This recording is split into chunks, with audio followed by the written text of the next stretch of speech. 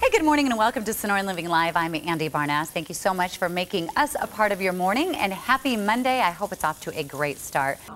Can you guys hear that? yeah. Look, when was the last time you guys fed him? Keep your weight over your front foot. Reach for the mat. Reach for the mat. Here we go. All right. Yeah. Before you walk out the door and strut your stuff, there are a couple of tips to ensure that you get the attention that you're actually looking for. What's going on with your pot over there? How about I make a deal with you?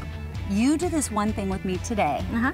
and then I'll learn how to do like a craft segment or something with you. I can't, I can't, I can't, I can't. I can't, I can't, I can't. While Andi Thank crashes, I'm just gonna keep going. Take it away. somebody call 911. Woo! When did you realize that there's something here? Like I, I, I'm really getting Benny, and he's understanding me.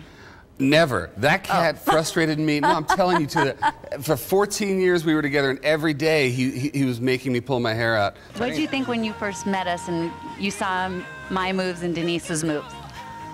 You can be honest.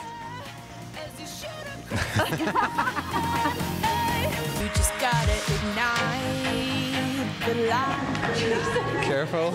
Are you okay? Yeah. You're not gonna pass out, are you? No, but I'm just not used to this aroma.